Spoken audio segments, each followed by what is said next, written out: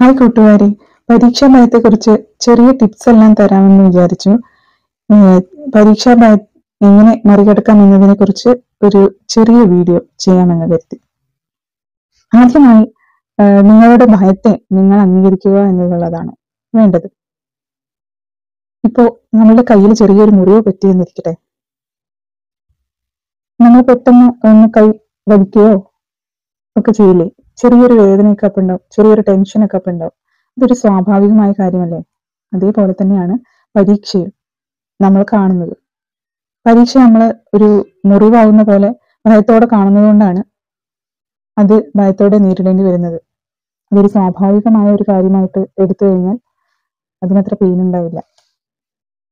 പലപ്പോഴും നമ്മൾ ഉത്കണ്ഠ പ്രകടിപ്പിക്കുന്നത് പലപ്പോഴും പരീക്ഷയെ ഓർത്തായിരിക്കില്ല. ഭയം ഉണ്ടാകുന്നത് പരീക്ഷയെ ഓർത്തായിരിക്കില്ല. നേരെ മറിച്ച് നമ്മളെ താരതമ്യം ചെയ്യുക. നമ്മൾ തന്നെ മറ്റുള്ളവരുമായിട്ട് നമ്മളെ താരതമ്യം ചെയ്യുക. അല്ലെങ്കിൽ പരാജയം സംഭവിക്കുമോ എന്നുള്ള ഭയം. അതേപോലെ തന്നെ സ്കൂളിൽ പഠിപ്പിച്ചിട്ടുള്ള ക്ലാസ്സിൽ പഠിപ്പിച്ചിട്ടുള്ള കാര്യങ്ങൾ കറക്റ്റ് അല്ലേ എന്നുള്ള തോന്നൽ. അതേപോലെ തന്നെ ഞാൻ പഠിച്ചിരിക്കുന്ന പുസ്തകങ്ങൾ അതിൽ കൊടുത്തതൊന്നും പോരാ. ഞാൻ പഠിച്ചത് അതിൽ കുറവായി പോയി. കൂടുതൽ മെറ്റീരിയൽസ് ഞാൻ പഠിക്കേണ്ടതായിരുന്നു. എന്നുള്ള തോന്നലുകളെല്ലാമാണ് നമുക്ക് ഇങ്ങനെയൊക്കെ ചിന്തകൾ വരുത്തുന്നത്. അപ്പോൾ നമുക്കൊരു അനിശ്ചിതാവസ്ഥയാണ് അവിടെ തോന്നുന്നത്. അതിനെ നമ്മൾ മറികടക്കേണ്ടത് നമ്മൾ വിശ്വസിക്കുക എന്നുള്ള ഒരൊറ്റ കാര്യത്തിലൂടെയാണ്.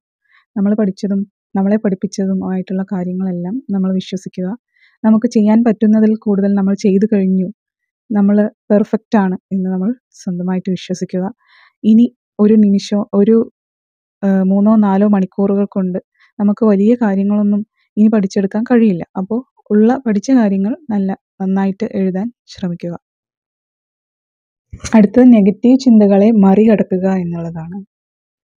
ഇപ്പോൾ എക്സാമിന് ഞാൻ പ്രിപ്പയർ ചെയ്തത് പോരാ. ഞാൻ പ്രിപ്പയർ ചെയ്തിട്ടില്ല. എനിക്ക് എഴുതാൻ പറ്റില്ല എന്നുള്ള തോന്നലാണ് നെഗറ്റീവ് തോട്ട്സ്. ഈ നെഗറ്റീവ് തോട്ട്സിനെ പോസിറ്റീവ് തോട്ട്സ് ആക്കിയിട്ട് നമുക്ക് മാറ്റിയെടുക്കാം. എങ്ങനെയാണ് പോസിറ്റീവായി ആക്കിയെടുക്കുന്നതെന്ന് നോക്കാം. നമ്മളുടെ കോൺഫിഡൻസ് ആദ്യം കൂട്ടിയെടുക്കണം. എങ്ങനെ കോൺഫിഡൻസ് കൂട്ടുക? ഈ നെഗറ്റീവ് ആദ്യം മറികടക്കുക. അതായത് ഞാൻ പഠിച്ചത് പഠിക്കാത്ത കാര്യത്തിനെ കുറിച്ച് എക്സാം എഴുതാൻ പോയിരുന്നതിന് ശേഷം ഞാൻ പഠിക്കാത്ത കാര്യങ്ങളെക്കുറിച്ചും ഞാൻ കവർ ചെയ്യാത്ത പോർഷൻസിനെ കുറിച്ചും ആലോചിക്കാതെ ഞാൻ പഠിച്ചിട്ടുള്ള പോർഷൻസിനെ നന്നായിട്ട് എഴുതാൻ എങ്ങനെ എന്തൊക്കെ ചെയ്യണം എന്നുള്ളതിനെ കുറിച്ച് ആലോചിക്കുക. അങ്ങനെ ഒരു കോൺഫിഡൻസ് നിങ്ങൾക്ക് നിങ്ങളുടെ സ്വന്തമായിട്ട് നിങ്ങൾ ഉണ്ടാക്കിയെടുക്കുക. നെഗറ്റീവ് തോട്ട്സ് എങ്ങനെയാണ് മറികടക്കാം ഈ ഒരു പരീക്ഷയുമായി ബന്ധപ്പെട്ട് പഠനം എങ്ങനെ ക്രമീകരിക്കാം എന്ന് നോക്കാം. നിങ്ങൾ പരീക്ഷ തലേന്ന് പഠിക്കുന്ന വിഷയങ്ങൾ അതിന് നിങ്ങൾ ഉപയോഗിക്കുന്ന സ്റ്റഡി മെറ്റീരിയൽസ് ഈക്വലായിട്ട് ഡിവൈഡ് ചെയ്യുക. ഈക്വലായിട്ട് ഡിവൈഡ് ചെയ്യുക എന്നതിന് അപ്പുറം നിങ്ങൾക്ക് മുന്നിലുള്ള സമയം എത്രത്തോളം ഉണ്ട് എന്ന് നോക്കുക. അതായത് ഇപ്പോൾ ഫസ്റ്റത്തെ എക്സാം വരുന്നത് ഇംഗ്ലീഷ് ആണെങ്കിൽ അതിന് കഴിഞ്ഞ അടുത്ത എക്സാം വരുന്നത് ഹിന്ദിയോ മലയാളമോ ആണെങ്കിൽ അത് ഒരു ദിവസം കഴിഞ്ഞിട്ടാണെങ്കിൽ ആ ഒരു ദിവസത്തിന് വേണ്ടി നിങ്ങൾ നല്ലൊരു ടൈം ടേബിൾ പ്രിപ്പയർ ചെയ്യുക ടൈം ടേബിൾ എന്ന് വെച്ച് കഴിഞ്ഞാൽ നിങ്ങൾ ഇന്ന സമയത്ത് ഉണരുന്നു നിങ്ങൾ ഇന്ന സമയത്ത് ഉറങ്ങുന്നു എന്നതിന് അപ്പുറം നിങ്ങളുടെ സ്റ്റഡി മെറ്റീരിയൽ ഏതാണെങ്കിൽ ആ സ്റ്റഡി മെറ്റീരിയലിനെ നിങ്ങൾക്ക് മുന്നിലുള്ള സമയം എത്രയാണോ അതിനനുസരിച്ച് ഡിവൈഡ് ചെയ്യുക. നിങ്ങൾ ലാസ്റ്റ് നിമിഷത്തെ പ്രിപ്പറേഷൻ ഓരോന്നിനും ഓരോ സമയം കൊടുത്ത് അത് പ്രിപ്പയർ ചെയ്യുക. ഇത് നിങ്ങളുടെ സ്ട്രെസ്സ് കുറയ്ക്കാനായിട്ട് സഹായിക്കും. അപ്പോൾ ഓരോ പോർഷൻസ് നമ്മൾ നമ്മളുടെ മുന്നിലുള്ള സമയം അനുസരിച്ചിട്ട് ഡിവൈഡ് ചെയ്തു എന്ന് വെക്കാം. അപ്പോൾ ഒരു ലെസണിലുള്ള കാര്യങ്ങൾ ഇപ്പോൾ ഒരു അഞ്ച് ലെസൺ ഉണ്ടെന്ന് വിചാരിക്കാം. അഞ്ച് ലെസണും നമ്മൾ അഞ്ച് മണിക്കൂർ കൊടുത്തിട്ട് പഠിക്കുകയാണെന്നുണ്ടെങ്കിൽ നമുക്ക് മുന്നിൽ ഒരു ദിവസം അര ദിവസമാണെങ്കിൽ പോലും നമുക്ക് അതിനുള്ള പ്രിപ്പയറേഷൻ ചെയ്യാൻ പറ്റും. മുഴുവനായിട്ട് മനസ്സിലാക്കിയിരുന്ന് പഠിക്കാനുള്ള സമയം ഇല്ലാത്തത് കൊണ്ട് തന്നെ അതിനെ നമുക്ക് എന്ത് ചെയ്യാം? ഈക്വൽ പോർഷൻസ് ആക്കിയിട്ട് ഡിവൈഡ് ചെയ്ത് പഠിക്കുമ്പോൾ നമുക്ക് കുറേ പഠിക്കാനുണ്ടോ? ഇനി എന്തൊക്കെ പഠിക്കാനുണ്ട്? ഇനി ഒന്നും കഴിഞ്ഞില്ലല്ലോ എന്നുള്ള ആ മാനസികമായ ആ സംഘർഷം അതിൽ നിന്ന് നമുക്ക് രക്ഷപ്പെടാനായിട്ട് പറ്റും. അടുത്തത് സ്റ്റിക്കി നോട്ട്സ് ആണ്. സ്റ്റിക്കി നോട്ട്സ് എന്ന് വെച്ച് കഴിഞ്ഞാൽ നമ്മൾ അടുക്കളയിലൊക്കെ ഫ്രിഡ്ജിലൊക്കെ ഒട്ടിച്ച് വെക്കാറില്ലേ? ഇന്ന പണി ഇനി ചെയ്യണം എന്ന് പറഞ്ഞിട്ട് ചെയ്ത് വെക്കാറുണ്ടല്ലോ. ഇനി അങ്ങനെ ചെയ്യാത്തവരാണെങ്കിൽ എന്ത് ചെയ്യുക? നമ്മളുടെ കയ്യിൽ കൈപ്പത്തിയിൽ ഒതുങ്ങുന്ന വിധത്തിലുള്ള ഒരു പേപ്പർ പീസസ് ആയിട്ട് എടുത്ത് റഫ് ബുക്കെന്നോ എന്തെന്നേലൊക്കെ എടുത്ത് കുറേ എണ്ണം നിങ്ങൾ റെഡിയാക്കി വെക്കുക. അപ്പോൾ ഇനി വരാൻ പോകുന്ന നിങ്ങൾ പ്രിപ്പയർ ചെയ്യുന്ന എക്സാം ഏതാണോ അതിന് വേണ്ടിയിട്ടുള്ള തയ്യാറ തയ്യാറെടുപ്പിനിടയിൽ നിങ്ങൾ പഠിക്കുന്ന ഓരോ ചാപ്റ്ററിലെയും ഓരോ മെയിൻ പോയിന്റ്സ് ഉണ്ടാവുമല്ലോ. ഇപ്പോൾ നമ്മളൊരു ആൻസർ പഠിക്കുമ്പോൾ അതിൽ മെയിനായിട്ട് നമുക്ക് പെട്ടെന്ന് ഓർത്തെടുക്കാൻ പറ്റേണ്ട വളരെ ഇമ്പോർട്ടന്റ് ആയിട്ടുള്ള ഒരു പോയിന്റിനെ നമുക്ക് പറ്റുന്ന കോഡുകളാക്കിയിട്ട് ആവാം.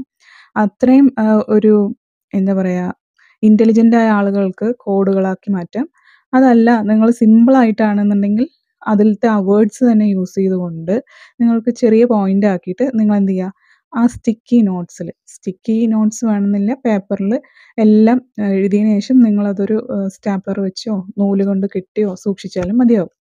നിങ്ങൾ ഈ ഒരു പുസ്തകം ഇപ്പോൾ ഇംഗ്ലീഷിന്റെ പുസ്തകം അല്ലെങ്കിൽ മാത്സിന്റെ പുസ്തകം ആണെങ്കിൽ അതിലെ മാത്സിലെ ഇപ്പോൾ ഇക്വേഷൻസ് ആണെങ്കിലും ശരി ഫിസിക്സിലെ ഇക്വേഷൻസ് ആണെങ്കിലും ശരി തിയറീസിലെ മെയിൻ പോയിന്റ്സ് ആണെങ്കിലും ശരി സയന്റിസ്റ്റിന്റെ പേരുകളും അവരുടെ ജനന സമയവും അങ്ങനെയുള്ള കാര്യങ്ങളൊക്കെ ആണെങ്കിലും അതേപോലെ തന്നെ ഹിസ്റ്ററി ഹ്യൂമാനിറ്റീസ് ഒക്കെ എടുത്ത ആളുകളാണെങ്കിൽ അതിന്റെ ഓരോ വർഷങ്ങളും ഒക്കെ മെയിനായിട്ട് നമുക്ക് പെട്ടെന്ന് ഓർത്ത് വെക്കേണ്ട കാര്യങ്ങൾ ആ പീസ് ഓഫ് പേപ്പറിൽ അപ്പം നോട്ട് ചെയ്ത് പോവുക.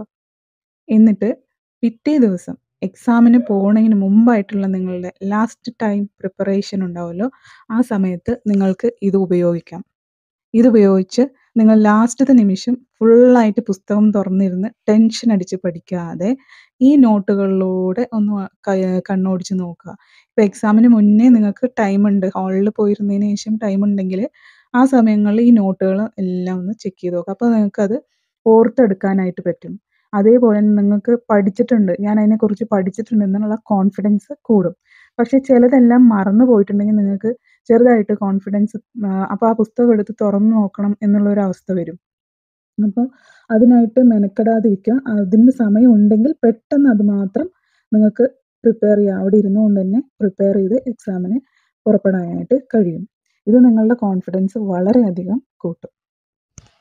അടുത്തൊരു ടിപ്പാണ് സ്ട്രെസ് മാനേജ് ചെയ്യാൻ വേണ്ടിയിട്ട്. നമ്മളെല്ലാവരും വിശ്വാസികളാണ്. വിശ്വാസം ദൈവവിശ്വാസം ഇല്ലാത്തവരും ഉള്ളവരും ഒക്കെ നമുക്കിടയിലുണ്ട്. അപ്പോൾ ദൈവവിശ്വാസം ഇല്ലെങ്കിലും നമ്മൾ എന്ത് ചെയ്യുക ഒരു ബ്രീത്തിങ് എക്സസൈ എക്സസൈസ് ചെയ്തതിന് ശേഷം പരീക്ഷയ്ക്ക് പരീക്ഷയ്ക്കായിട്ട് പോവുക.